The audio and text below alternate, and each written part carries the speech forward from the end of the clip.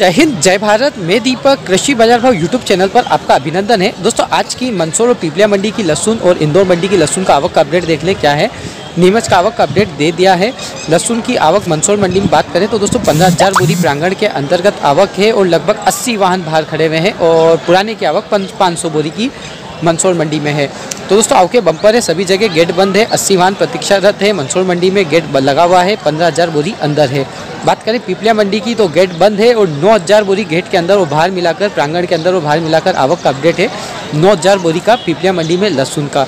इसके अलावा बात करें दोस्तों, नीमच मंडी की आवक का लगभग दस ग्यारह हज़ार बोरी के आसपास में प्रांगण के अंदर है। वो बाहर की बात करें तो बाहर हमने आपको कुछ कम वाहन बता दिए थे। बाहर वाहन की संख्या सौ से ऊपर है, पूरी सौ से ऊपर उस समय हम गिनती नहीं करके आए, अभी हैंड टू हैंड गिनती कर कर आए।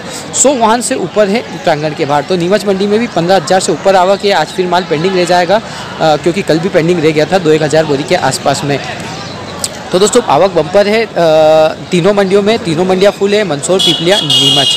होगा तो अपडेट शाम की पुनः दी जाएगी, बने रहें और मंसूर मंडी का लाइव क्वालिटी वाइज भाव मिलेगा हमें तो आपको तुरंत दिया जाएगा, कल भी अपडेट मिला था तो आप ज़रूर देखें कौन सी क्वालिटी क्या भाव बिकी है। मंसूर मंडी में और पिपलिया मंडी की भी क्वालिटी वाइज कोशिश करेंगे देने की अपडेट मिलते से।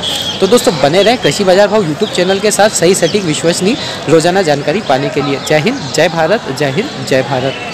बिलपाक से बिलपाक से बुआई कब करी थी? बुआई करी थी दस सितंबर में। दस सितंबर। तो दोस्तों आवके आने लग गई है दस सितंबर दस अक्टूबर और पंद्रह अक्टूबर तक की भी देखने को मिल रही है मंडियों के अंतर्गत अब।